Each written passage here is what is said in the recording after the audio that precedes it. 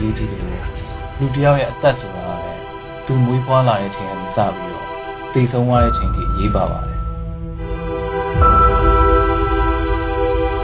ဒီဇလန်ကျွန်တော်ကိုစပြီးတော့ကမ်းလှမ်းလာတဲ့အချိန်မှာစက်ဖက်ကြည့်လိုက်တဲ့အချိန်မှာအရန်တာဝန်ကြီးရလို့ခံစားရတယ်အဓိကကတော့ကျွန်တော်အရှိပိုင်းမှာမလုပ်ဘူးတဲ့ character ပေါ့နော်အဓိကကျွန်တော်ရဲ့လေးကားမြောက်ရုပ်ရှင်ပေါ့ဒီလေးကားမြောက်ရုပ်ရှင်မှာပရိသတ်တွေကျွန်တော်ကိုကြည့်ကျင်တဲ့ character အသစ်တစ်ခုအနေနဲ့တရုပ်ဆောင်ဝင်ရလို့ပါအဓိကကတော့အဲ့အတွက်ကြောင့်မလို့ရိုက်ကူးဖြစ်တာပါဟုတ်ကဲ့ပါဆက်ပြီးဘယ်လိုကားတာလေးကတွေ့ရမှာလဲဟုတ်ကဲ့ဒီဇာတ်ကားထဲမှာတော့ NGO ကဝန်ထမ်းကောင်လေးတယောက်မိုးနိုင်ဆိုတဲ့နေရာကနေပြီးတော့တရုပ်ဆောင်လာပါတယ်။မျိုးသမီးကာကွယ်ဆောင်ရှောက်ရေးဥပဒေနဲ့ရောပတ်သက်တာကျွန်တော်ကတော့ဟိုကျွန်တော်ရဲ့နောက်ခံကိုပြောရမယ်ဆိုလို့ရှိရင်တော့ဒီဇာတ်ကားထဲမှာဆိုလို့ရှိရင်ကျွန်တော်ဩစတြေးလျကနေဥပဒေဘာသာရေးနဲ့ကျောင်းပြီးပြီးပြန်လာတဲ့ကောင်လေးတယောက်ပေါ့။ဒီနိုင်ငံမှာရှိတဲ့အဖွဲ့အစည်းတွေနဲ့ပေါင်းပြီးတော့ NGO အဖွဲ့အစည်းတွေကိုကျွန်တော်လိုက်ပြီးတော့အကူညီနေတဲ့ကောင်လေးတယောက်ပေါ့ကျမပညာလည်းမတတ်ဘူး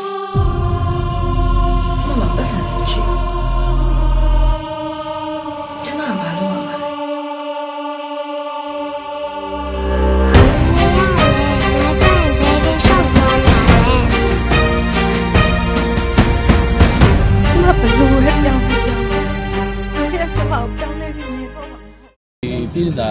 ဥပဒေနဲ့ပတ်သက်ပြီးလို့ဆိုလို့ရှိရင်တခြားနိုင်ငံတွေမှာဆိုလို့ရှိရင်ဒီပြည်စာတွေအတွက်တရားဝင် license ပေးထားတဲ့ဥပဒေတွေရှိရပါတော့တရားဝင် license ပေးထားရလည်းရှိရအဲသူတို့အတွက်ကာကွယ်စောင့်ရှောက်ရေးဥပဒေဆိုတာလည်းရှိရပေါ့ကျွန်တော်တို့နိုင်ငံမှာတော့ဒါမျိုးကအခုချိန်ဒီလွတ်တော်မှာအဲအတည်ပြုလို့မရသေးတဲ့ပြဿနာမျိုးတွေဖြစ်နေတဲ့အချိန်တည်းမှာဒီဇက်ကားထဲမှာလည်းဒါမျိုးကိုကျွန်တော်တို့ကထည့်သွင်းရိုက်ပြထားတာဖြစ်တယ်ပြည်သက်တွေလာကြည့်တဲ့အချိန်မှာလည်းစိတ်ဝင်စားစရာကောင်းတဲ့ message တွေအများကြီးရမယ်လို့ကျွန်တော်မြင်ပါတယ်ဟုတ် ကိစ္စနဲ့ပတ်သက်ပြီးတော့အခုချိန်ဒီလွတ်တော်မှာဆုံးဖြတ်နေတော့ဆိုတော့ကျွန်တော်လည်း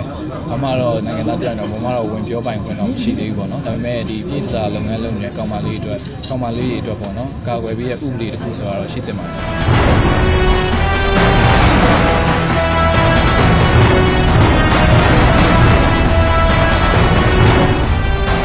ကျမဘယ်လိုပဲပြောင်း လဲပြောင်းလဲဒါကကျမကိုပြောင်းလဲပြီးနေတော့မှာမဟုတ်မင်းတို့ကမရခိုးမှုနဲ့တရားဆွဲမလိုက်လို့ရနော်ငါသူ့လေကွာအာစီမံချက်လည်းမသိဘူးတိုက်ရစင်မနာလည်းမသိဘူးအဲ့ဒီလူတွေမဖြစ်အောင်ရှင်းတဲ့ဘက်တွေအကုန်လုံးကျမလိုင်းချင်းပေးထားပြီးသားအခုဒီလိုဖြစ်တော့ရှင်းလို့ဘယ်လိုတောင်းနေလဲကျမခန္ဓာကိုယ်နဲ့ရှင်းပြရထားတဲ့ငွေတွေကကျမလွယ်လွယ်လေးနဲ့ရထားတဲ့ငွေတွေ